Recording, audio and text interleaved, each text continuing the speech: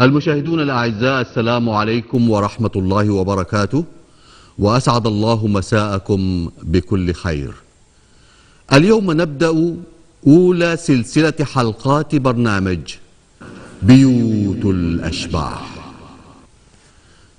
بيوت الأشباح هذا البرنامج التوثيقي الذي يكشف جرائم جهاز أمن النظام البائد ضد خصومه السياسيين ومعارض الرأي.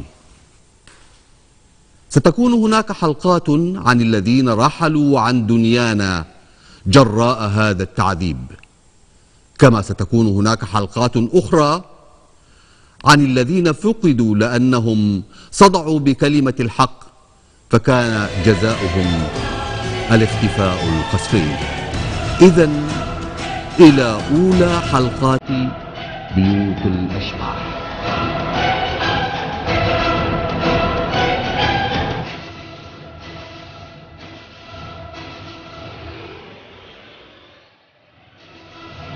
مرحبا بكم مرة أخرى أيها المشاهدون في حلقتنا الأولى من برنامج بيوت الأشباح.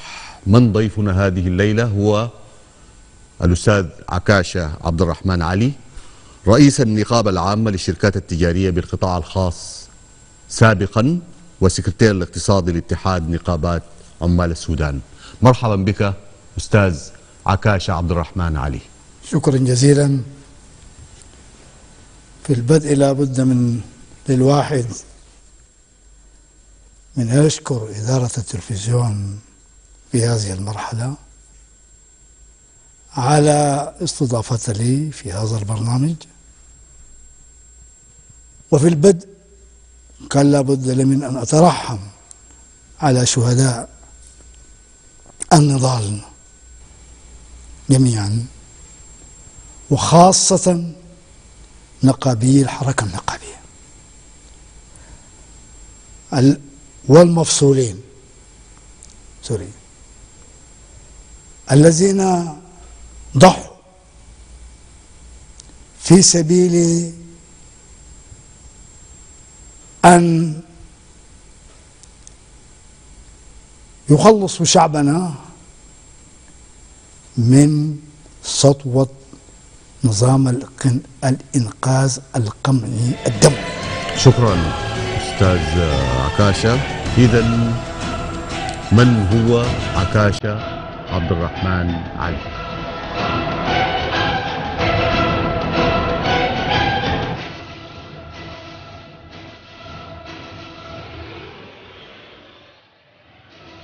شكرا سيد عكاشة عبد الرحمن في البداية وضح للمشاهد الكريم صورة المشهد السياسي عقب انقلاب الجماعة الإسلامية على السلطة في 30 من يونيو 1989 ظلت الحركة النقابية السودانية ومنذ إنشائها حركة مستقلة جبهة عريضة تدافع عن مصالح أعضائها. وعن مصالح السودان ككل. والحركة النقابية مرت بمراحل كثيرة ومنارجات كثيرة. وفي ذلك صمدت الحركة النقابية وحققت إنجازات كبيرة في مراحل المتصلة. إلى أن جاء انقلاب الأنغاز السيء الصيت. وحل الحركة النقابية. وجمد نشاطه. وفي هذه المرحلة وفي هذه اللحظة كان لابد لي من أن أترحم على شهداء الحركة النقابية خاصة وعلى الذين سقطوا في ضرب في درب النضال ضد الإنغاز وزمرته. والذين شردوا والذين عذبوا في الثلاثين سنة الماضية. ولا بد لي أيضا من أهنئ شعبنا بالانتصار الكبير للثورة المجيدة التي هي نضال متصل. أستاذ عكاشة وضح للمشاهد كيف ومتى تم اعتقالك؟ اعتقلت يوم 28 11 89 من أمام مبنى اتحاد نقابات عمال السودان شارع الجمهورية الساعة 11 ذلك يعني أنك اعتقلت آه، عقب إضراب الأطباء الشهير في تلك الفترة؟ بعده بستة أيام تقريبا. لأنه هو بدأ يوم 23 وأنا اعتقلت يوم 28 مش لوحدي. اعتقل النقابيين كثيرين. كيف تم الاعتقال؟ الاعتقال تم وأنا نازل من مبنى اتحاد العمال عشان أركب العربية أمشي. وقفت عربية كوريلا. كم كان الوقت؟ يعني زي الساعة 11 11 ظهرا. ظهرا. أو 11 صباحا. فيها ثلاثة أشخاص. فنزل منها وأشر لي أنت أنت السيد عكاش عبد الرحمن. قلت له نعم. طلع بطاقة قال لي أنا العقيد عفيفي. من جهاز أمن الدولة؟ قلت له مرحبا. قال لي عاوزينك قلت له جدا. في اللحظة دي كان أخونا المرحوم المغفور له علي عبد الله شاويش جاء داخل سلمت المفتاح بتاع العربية. قال لي اركب قدام. ركبت في العربية قدام وفي اثنين ورا. واحد عنده سلاح وواحد ما عنده سلاح.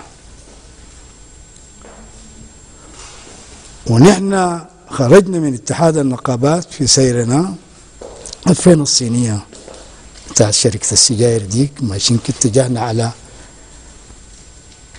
ال- تقاطع تقاطع مع, مع البلدية. مع البلدية. وطوالي مشت بينا كده على ال- الشارع المتجه على القيادة العامة. من هنا على جهة اليمين يظهر انه كان بيت مامون عوض أبو زيد.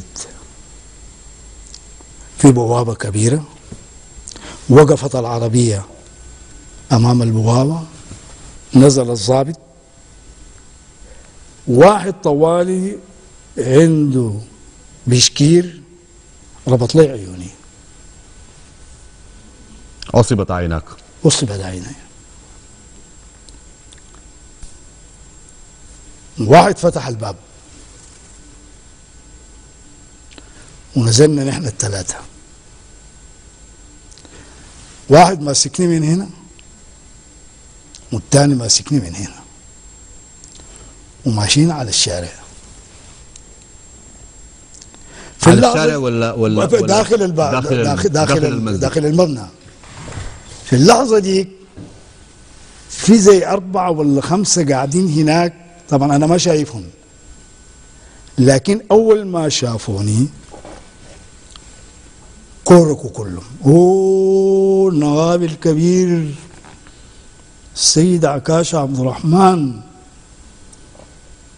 نحن الليلة حنوريك الشفيع مات كيف. دي لا أنساها أبدا. وطوالي جو جارين علي بالضبط كده نزلت فيني زي أربع خمسة سيطان وخراتيش.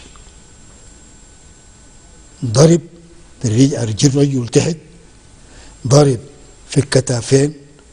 ضرب في الضلوع. وديلك سايقني. وديل بيدقوا إلى أن وصلنا مكتب أستاذ عكاش آه، هل تذكر كم كان عمرك في تلك الفترة؟ كم كان عمرك؟ زي 42 سنة تقريبا 42 سنة زي اثنين. نوعا ما أي. متماسك لا متماسك وقوي قوي جدا فبيضربوا ضرب يعني ضرب بتاع تشفي يعني ضرب بتاع فعلا إنه عايزين يورينه إنه آه، شفيع مات كيف. خدتوني في كرسي وما زالوا بيضربوا.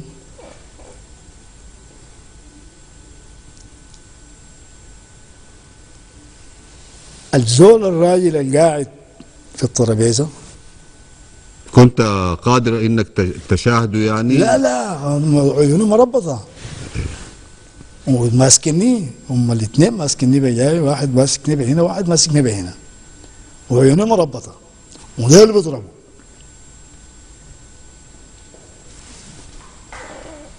اسمك؟ له عكاش عبد الرحمن علي. مهنتك؟ قلت له والله رئيس النقابة العامة لعمال الشركات التجارية والسكرتير الاقتصادي اتحاد النقابات. ورئيس مجلس الإدارة بتاع المؤسسة التعاونية العاملين قال لي انزل تحت من الكرسي. قم فوق. قمت. قال لي أقعد تحت. قعدت. قال لي خد إيدك كده. البلاط. قال لي لف. قلت له ما بلف. ألف وين؟ ما بقدر ألف. وديلك ما زالوا بالمناسبة بيضربوا بالخراطيش. أكثر حاجة كان أثرتني الضربة بتاعت الراس. واحد طقاني بخرطوش هنا في الحتة دي. وقلت الصلعة دي ما كانت كده يعني. دي دوختني شوية. قال لي ده ودي الزنزانة رقم واحد.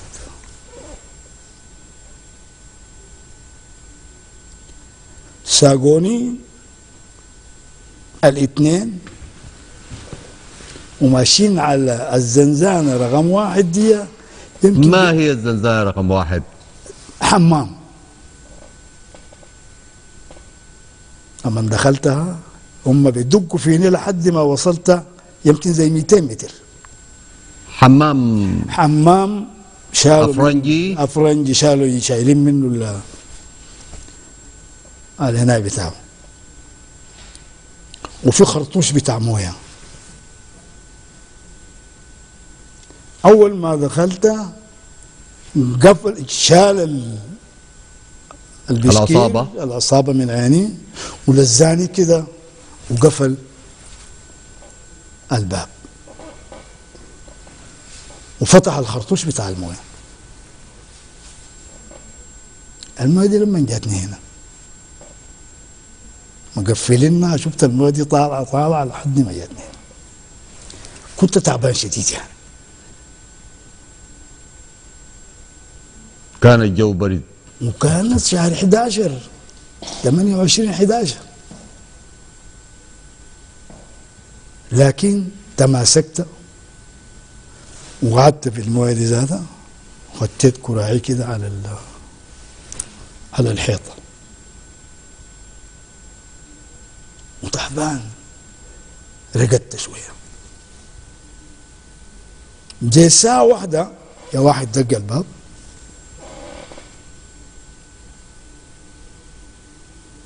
هنا في النوم مطلع كشف أبو عمان. بتاع النغابات مطلع بتاع النغابات وفات.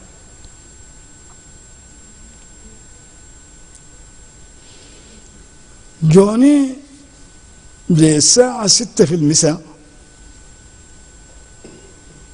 شالوا الخرطوش وشالوا الأشياء المقفلين بها الحمام. عشان يحجزوا الموية. عشان لا كان لا الموية دلوقتي دفقت خلاص. لكن ال- ال- الملابس بتاعتها كلها مليانة موية. فيوني الساعة 6 في المساء. دق دق الزنزانة دق أقصد الحمام. هنا في منو قلت له عكاش عبد الرحمن عادي. قال لي عايز تمشي الحمام؟ قلت له إيه. فتح الباب بسيط وكان بالزاوية عشان ما أشوفه. قال لي امسك. قلت له شنو؟ قال لي امسك أربط عيونك. مسكته وربطت عيوني. قال لي جيب يدك. اديته يدي. بدق فيني لحد الحمام. واحد تاني مش هو. وده ماسك يدي والتاني داك بدق لحد ما وصلت الحمام.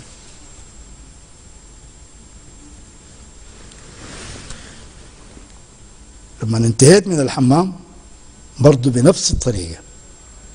أمسك أربط عيونك. وبعدين وأنا ماشي يقول لي الحفرة قدامك يا أخي أنت هتقع الحفرة قدامك. وأنا ماشي.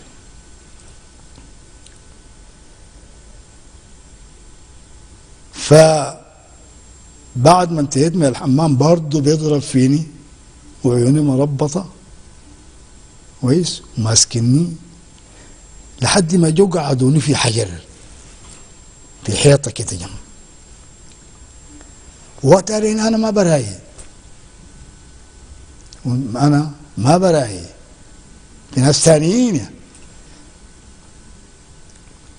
كانوا معك في نفس ال... لا ما كانوا معي في اللحظة ديك ما ما ما تلمينا مع ناس. في اللحظة ديك كل زول جابوه براو لكن قعدونا صف. وانت كنت في الزنزانه واحد. وأنا كنت في زنزانة جابوني في مع صف. مع ناس تانيين. برضه في زنازين تانية يا خلي. وفعلا كانت في زنازين تانية. وأنا قاعد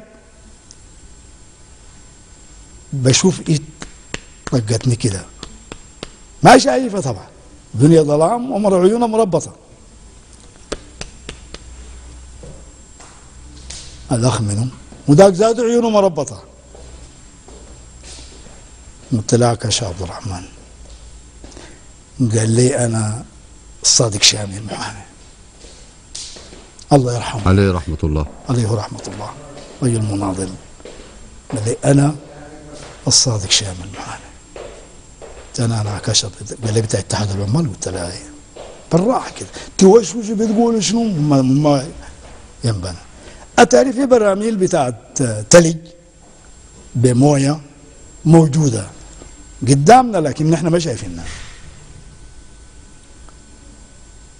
ففي واحد قال لي عمك ده ابصلعه ده كده حممه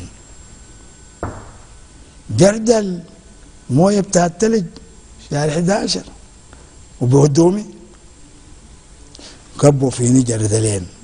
بوف كده. لا لا لا زيدوا يا أخي زيدوا.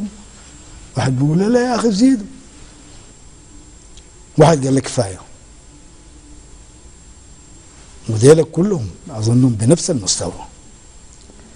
بعد ذاك يعني بردت برد شديد جدا جدا. ابتديت رجف يعني لأنه أول حاجة إذا كان الواحد كان سامع ملص قال لكن بالهدوم برد وشهر 11 كانت عملية رهيبة جدا جدا. قعدنا شوية. قال لي عمك ده سوق ودي الزنزانه الثانية الغربية. مشيت الزنزانة الغربية. فتحها كده. قال لي في زول جوا الزنزانة دي دقوه. أنا ادقوا ليه يا أخي؟ وأنا برجف من البرد يعني. وب- وبالمناسبة بيدق فيني لحد ما وصلني الزنزانة دي ذات وعايزك تد- تدق ال- تدق الزول الجوا المعتقل. ف... ما دق زول قفلها طوالي لقيت الدكتور منصور إسحاق. منصور إسحاق إسرائيل. منصور إسحاق إسرائيل.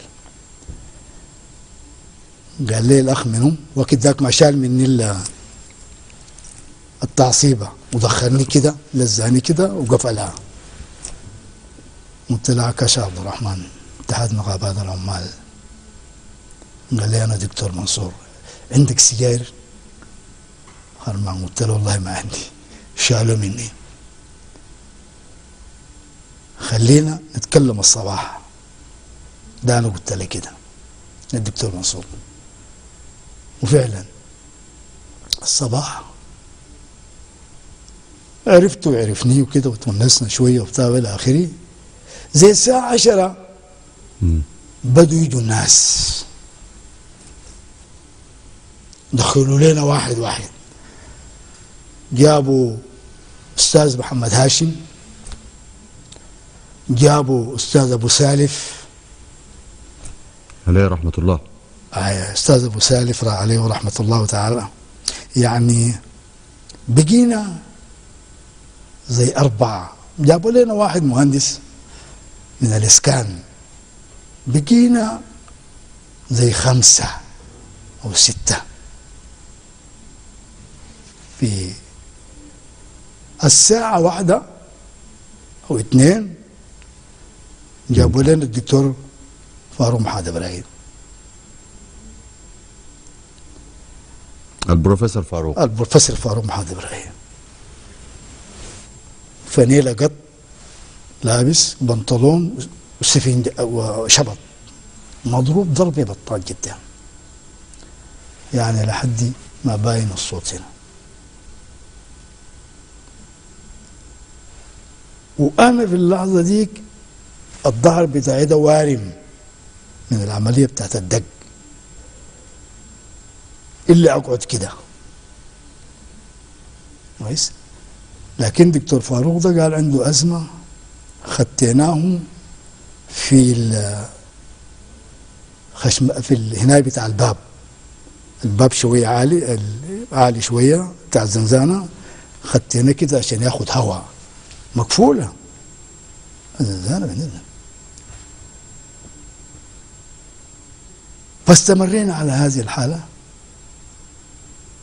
يعني زي أسبوع تقريبا. كان بيسمحوا بإحضار الطعام.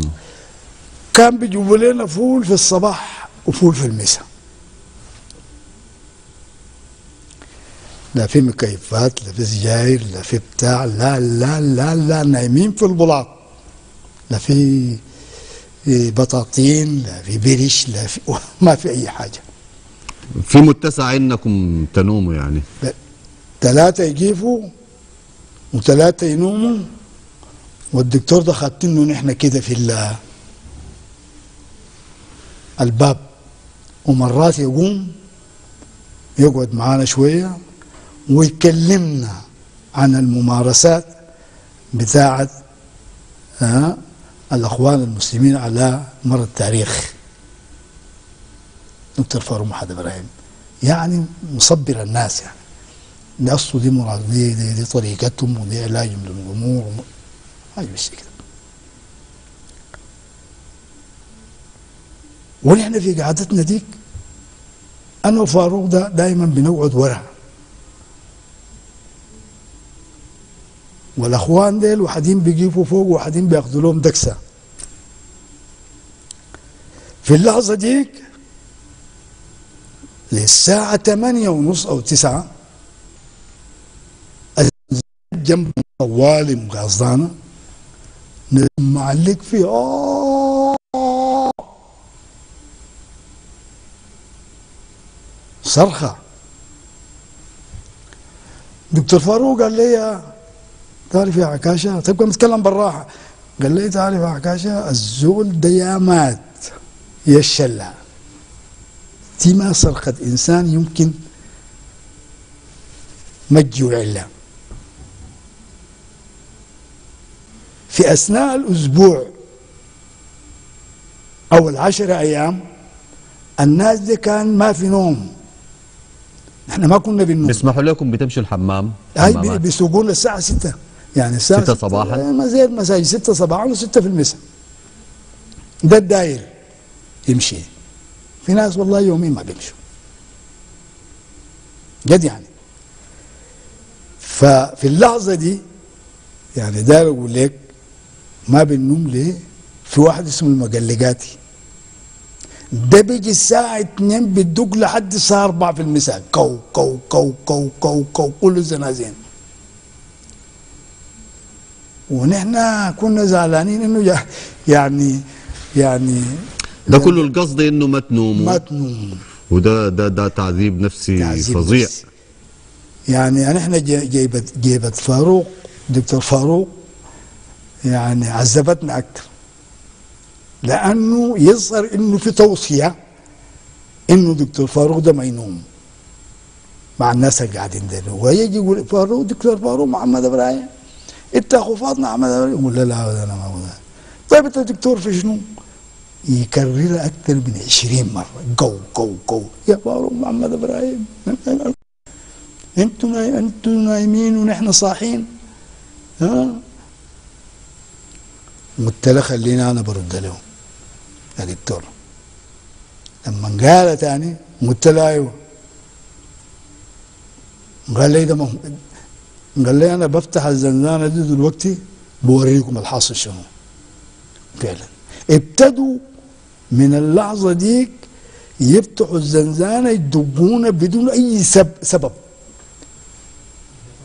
كو كو كو كو كو كو كو كو تلاقيك في في جسمك تلاقيك في راسك تلاقيك في كراعك. كنتوا بتشوفوهم؟ لا ما, ما, ما بالظلام هي. هي لو قبلت بالنور ما بنشوفهم وبنعرفهم وبنعرف اشخاصهم لكن ابدا يفتحوها زي ده يدقونا ويقفلوها ويفوتوا.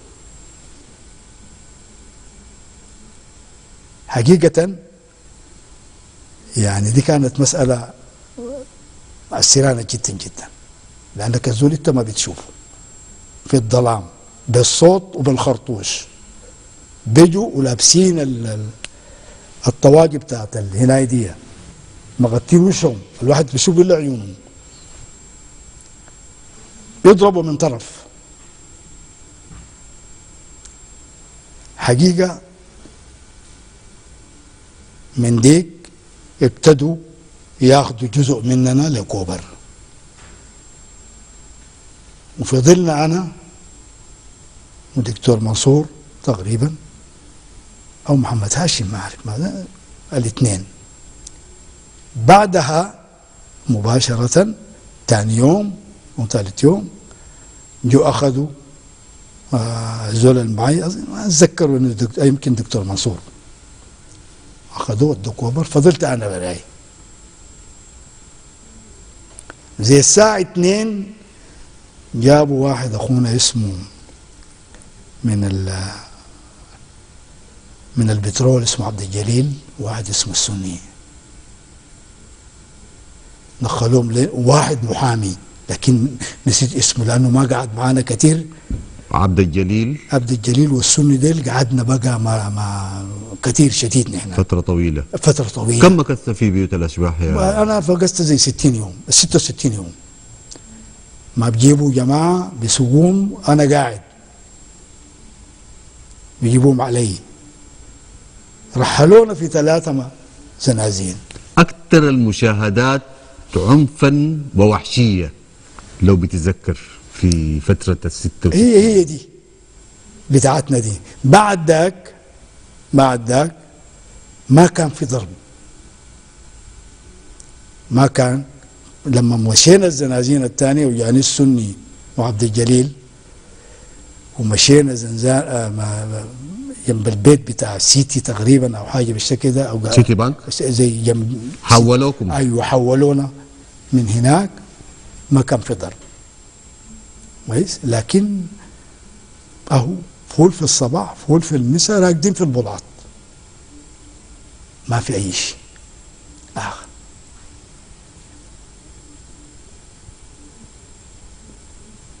قعدنا أنا وعبد الجليل و... والسني ده فترة طويلة الثلاثة مع بعض. بس مرة جابوا لنا واحد. قالوا لقوا عنده منشورات. طوالي ساقوه ما عرفوا قتلوه حي. ما عارف لكن ما عرفت اسمه. ما عرفنا اسمه. طوالي بس دخلوا لنا كده. ما أخذ الحكاية بتاع الساعة إلا شوية جه ساقوا تاني. رحلونا في زنزانة تانية في القيادة العامة. دي بعد ال- ال- البيت بتاع بعد بعد بعد سيتي بانك؟ آه بعد سيتي بانك ودونا تاني زنزانة تاني في القياده العامة. لقيت الأخ سعود دراج الله يرحمه ويحسن إليه يا أخي. رحمه الله. مصطفى عبادة. وواحد أستاذ. ده كلنا برضو كنا في أوضة موحده ثلاثة في ثلاثة تقريبا ولا ثلاثة في اربعه معنا اوضه غرفة عادية ولا حمام؟ غرفة عادية لا ما حمام غرفة عادية حتى جايبين لنا واحد قالوا كان سارق لغنم برضه دخلوه معنا الزنزانة جنبنا كان فيها على ما أذكر ال- الأخ عوض الكريم محمد أحمد ومعه ناس تانيين مهندسين مهندسين لكن. عوض الكريم ده كان ظاهر لنا من أنه بنادوه لأنه مرات بندق لهم الحيطة. كو كو كو بندق لهم الحيطة. هم يعني بتتعاملوا بالإشارة. أي بيسمعونا ونحن بنسمعهم. لكن عوض الكريم ده كان ظاهر بالنسبة لنا. قعدنا في الحتة ديك. كم يوم؟ يعني كم يوم. لكن الطريف في الأمر إنه أنا ما كان في زول عارف محلي وين. من أهلك. من أهلي أو من النقابيين أو البتاع ما كان عارفين لأنه في المكتب لما أيوة، تم لا. تم اعتقالك أيوة ما في زول من اتحاد؟ العمال وطوالي. ودوني وين؟ ما معروف. إلى إن أخونا السني ده وهو مدير شركة آه قاعد معي زي أسبوع. كان جاء آخر شهر. أخوه جاء ده جاء عشان يمضي شيكات. أخذ إذن من ناس الأمن عشان يجيبوا السني ده يمضي يوقع على الشيكات ويرجعوه تاني.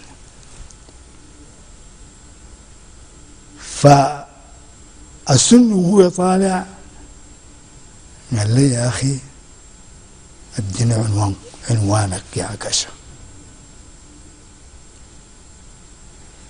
في ورقة بتاع السجاير صغيرونة كتبت له عكاشة عبد الرحمن الجريف شريك جوار كده كده كده كده جوار مسجد الشيخ الطيب وكتبت له أخذها اداه لاخوه بالراحة ومضى الشيكات وجاء اديتها له قال لي اديتها له. فعلا.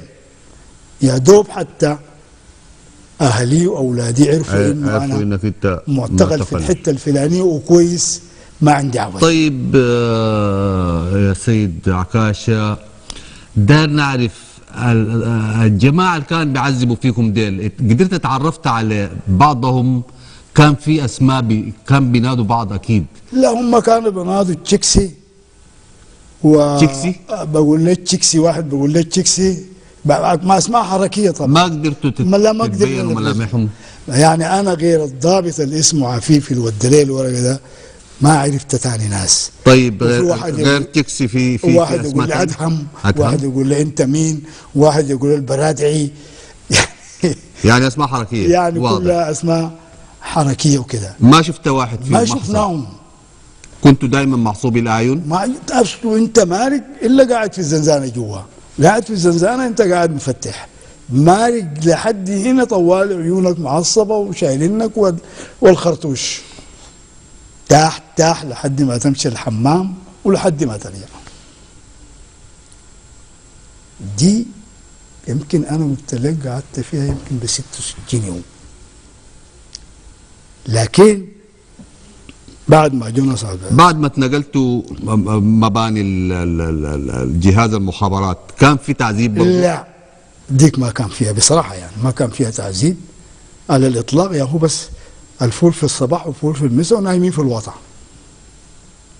لكن ما ما كان في دق ما كان في ده لكن الطريف إنه لما خلاص آه، عايزين يودونا كوبر جونا زي الساعة 2 صباحا. قالوا صدر قرار بإعدامكم. أنا وسعودي دراج وعبادة وفيصل. ومعانا واحد تاني قلت لك كان قالوا ساري له غنم ولا بتاع اسمه أحمد بتاع إلى آخره. فكل واحد فيكم يكتب وصيته عشان نوديها لأهله وقفونا وقد على الحيطة ولعوا نور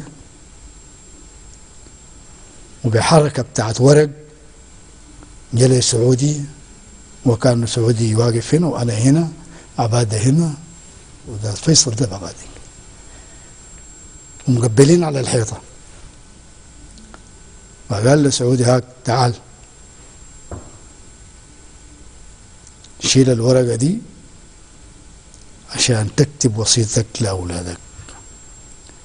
سعودي قال له ما عنده وصية.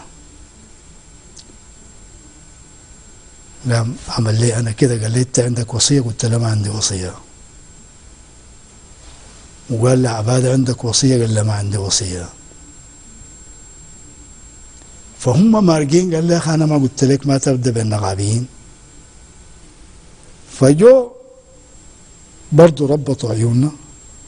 انت مالك تربط عيونك تمسك ايد أخوك يربطوا لك عيونك تمسك أخوك الثاني إحنا زي كده عبد الجليل وأنا سني وكده. في هايس واقفة.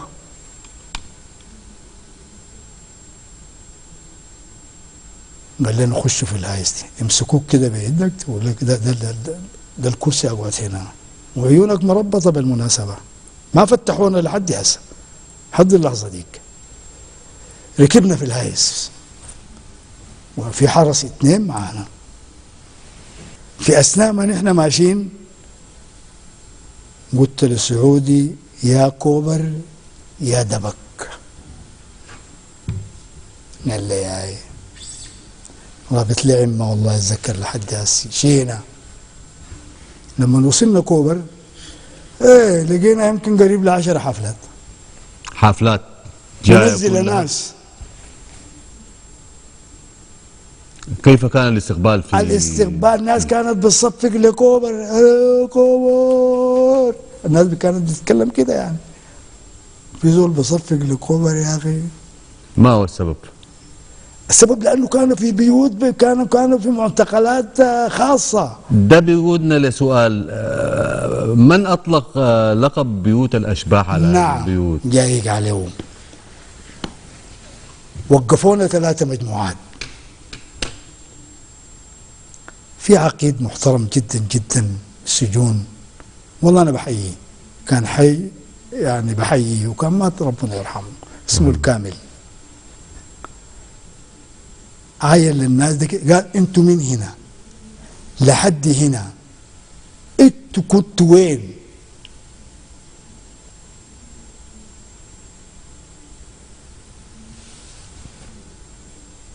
كررها مرتين. أنا ما بستلمكم. قال كده أنا ما بستلمكم. ما هو السبب؟ ما هو تبرير؟ السبب لأننا كنا تعبانين تعب شديد خلاص. زي زي زي أهل الكهف يعني. الشعر وال وال وال والهدوم وسخان و- وبقينا كده. يعني أنا ده شخصيا عكاش عبد الرحمن ده. قلت كده الحزام ده إلا بالولوي. من جد ماري يبقى ما بربط. الا تربط وساكت كده. 66 يوم يعني. نحن ناكل فول ونشرب موية هنا إلى آخره في الصباح وفي المساء كده. شوفتي وما في حمام. ما في حم... ما في الشعر ده كده والضوء يعني حاجة يعني بطال كان بيسمحوا بالصلاة؟ لا وين يا أخي؟ قالوا هنا جاء واحد قال لي دار أصلي قال لي هنا في جيش. الله ذاته ما في. لا حول ولا قوة. جد والله بكلمك جد يعني حقيقة.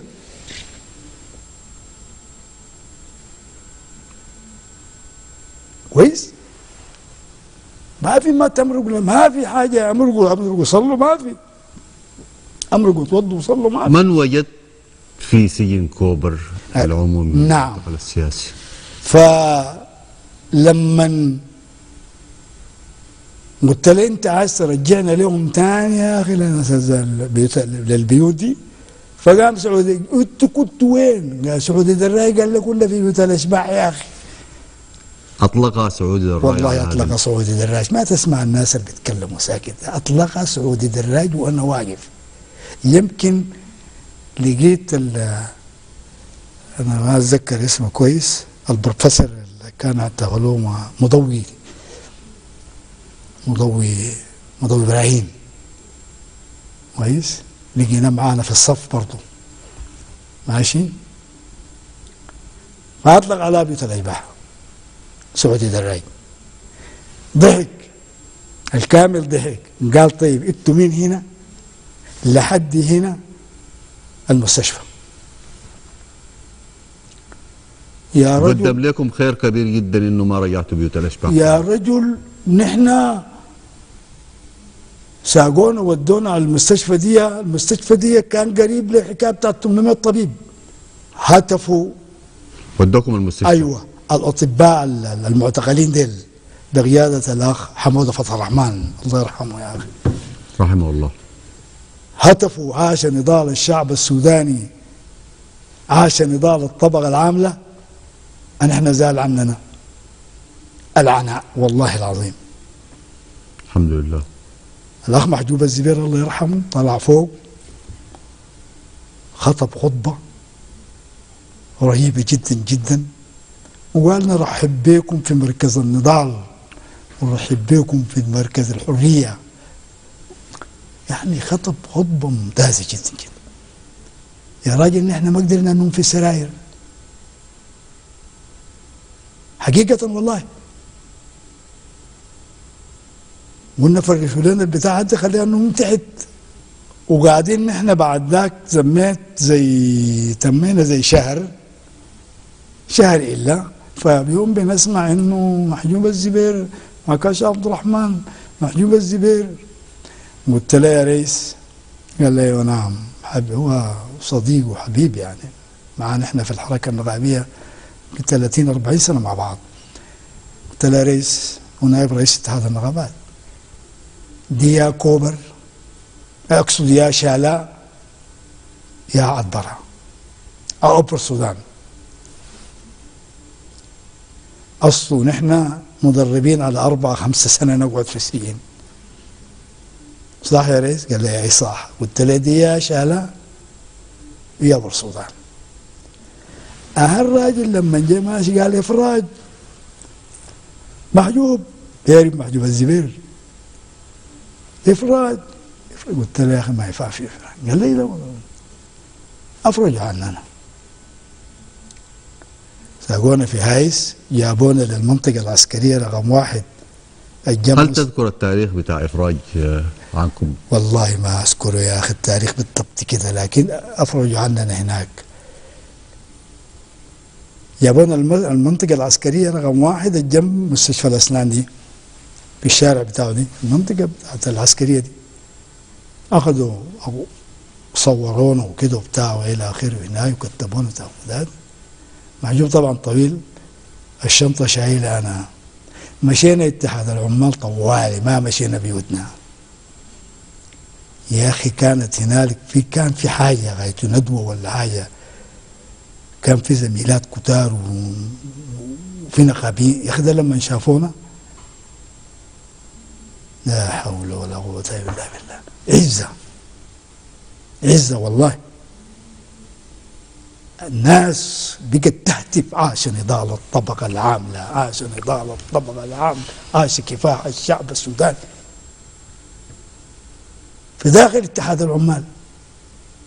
وفي الوقت ذاك يعني اتحاد العمال فوق وأخواننا ناس جمعوا كده جابوا الحلاوة جابوا البيبسي وبتاع والى آخره هناك قام جماعة قال لي يا أخي بعد تمشوا البيت. ركبونا على العربية ودونا البيت. دي القصة بتاعت بيوت الأشباح. وهي حقيقة كانت هي هي مش كانت بيوت أشباح هي كانت تصفية. حقيقة. هم حاولوا إنه يكسروا شوكة الشعب السوداني. والحركة النقابية بالذات. بالتحديد صباح صحيح صحيح. كويس؟ الحركة النقابية بالذات. مظبوط. لأنه هم كان مشكلتهم الحركة النقابية. وعشان كده عملوا لها حاجة اسمها مؤتمر الحوار النقابي. ودمجوها كلها مع بعض لأنهم هم في العمال ما عندهم ولا واحد في المية.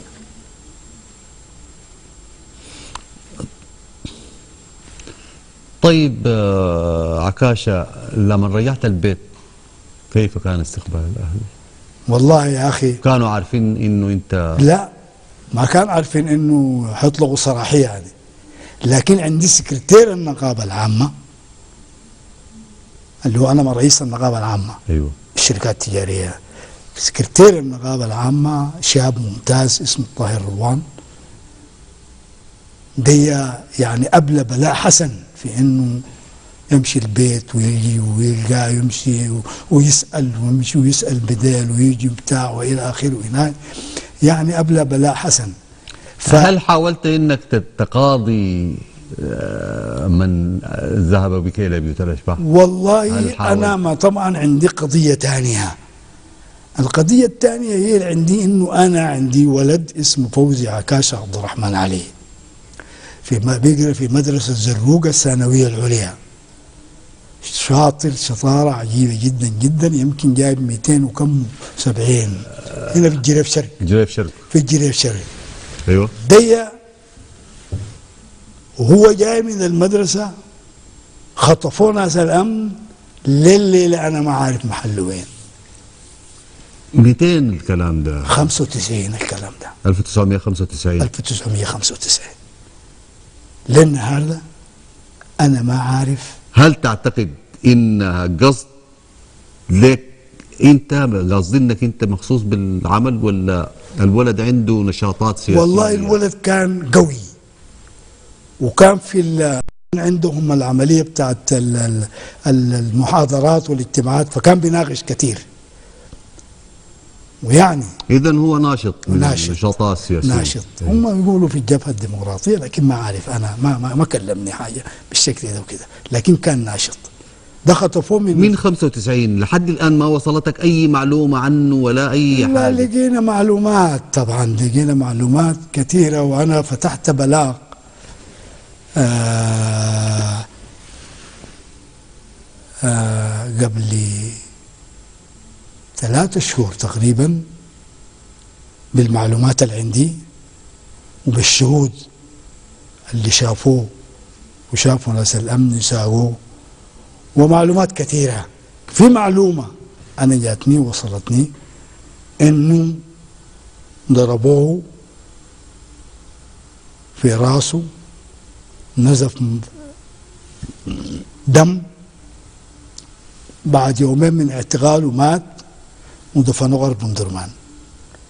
لكن وقتها كان نافع علي نافع هو كان رئيس الجهاز وعبد الغفار الشريف كان هو المسؤول من أمن الطلاب. هسه القضية ماشية. يعني القضية ماشية ماسكينها محامين آه، المحاسبين آه، الديمقراطيين تجمع المهنيين الديمقراطيين وشغال فيها شغل ممتاز جدا جدا وماشي. بإذن الله تعالى الحقيقة حتبين. الحمد لله رب العالمين. الحمد لله رب العالمين. نشكرك آه، أستاذ عكاشة عبد الرحمن علي رئيس النقابة العامة للشركات التجارية القطاع الخاص سابقا والسكرتير الاقتصادي لاتحاد نقابات عمال السودان سابقا.